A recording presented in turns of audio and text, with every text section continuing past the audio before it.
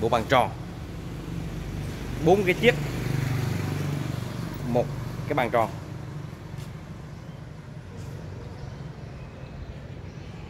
Cắn. Cắn cái tích này tích rất đặc biệt.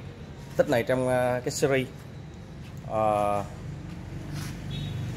cái series là mô tả là cái lịch sử Việt Nam qua đồ gỗ nội thất. Thì uh, xin giới thiệu sơ qua về cái bộ bàn đây bộ bàn này làm mình gỗ gõ gỗ gụ á gõ gia lai gụ mặt ấy gõ mặt ấy. Người người bắc gọi là gụ ở đây quen gọi là gõ. Ờ, à, mặt bàn thì 60 vuông ô à, quên 60 tròn tròn 60 61 á. Mặt ghế thì 30 ừ. à, 40 ghế là sờ 40 ghế. 4 ghế này thì cũng giống như cái bộ tích tích thôi. À, giống như cái bộ ờ, tích ờ, quan trung đánh thành trong đa quan trung khương thượng. À, mặt này thì cắn cá chép. Cá chép ngắm tranh mặt này thì cắn uh, chim. Hoa chim. Này thì cắn kẹp cong. Kẹp cong.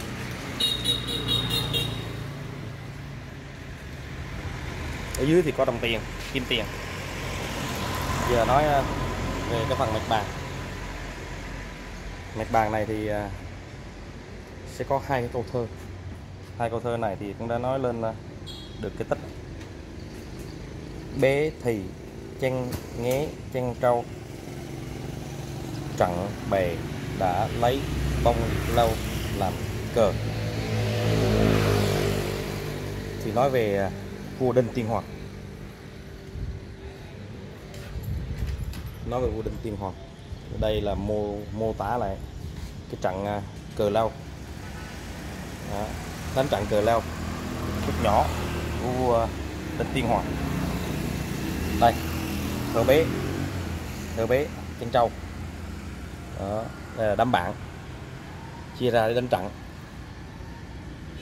Hình như trong tích này thì người ta có nói à, là về làm thịt luôn.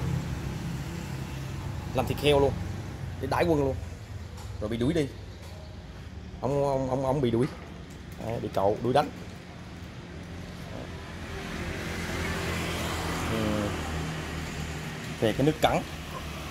Nước cắn thì ờ, phối màu ưu tiên về phần kỹ thuật. Ưu tiên về kỹ thuật. Ốc thì lấp lánh đỏ ốc xanh. Khẩu. Đường nét tỉa hết sức là sắc nét. Dùng cái mặt người. Cái mặt đây. Đó. Cái mặt này. Cái tóc này. Con mắt này. Cái mũi này. Cái miệng này. Đấy, con ngươi này. Con ngươi. Ừ. nét tía thì vô cùng điêu luyện rồi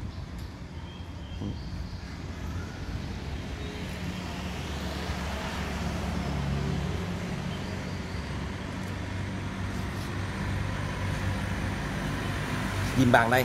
Thì khá là về. Dìm bàn này khá là về. Đây là ba phân đó. Dấu bít chân cong ừ. xung quanh thì đây thì cái cẳng dây leo dây dưa. Ừ. Dây dưa. Ừ. Các cái tích ờ, nước ngoài tích tàu tích tàu theo cái ờ, cái cái cái cái, cái triết lý. Ờ, hồi xưa nó quen rồi. Bây giờ mình chỉ có làm à, mình làm tích việt đi cho nó mới lạ một chút. Thứ hai nữa là vừa nhìn đồ gỗ chúng ta có thể vừa ngắm à, học hỏi tìm hiểu về cái lịch sử của đất nước Việt Nam. Qua những món đồ gỗ như đây. Đây là một những món đồ gỗ cơ sở sản xuất đồ gỗ thành rất là tâm huyết.